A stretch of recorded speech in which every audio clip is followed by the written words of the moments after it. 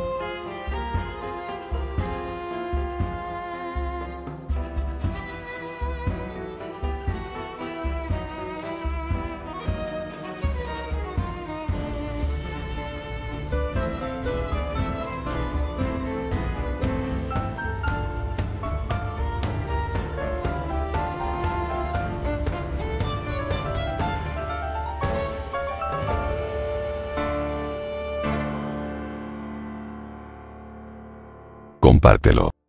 Comenta, dale like y por favor suscríbete.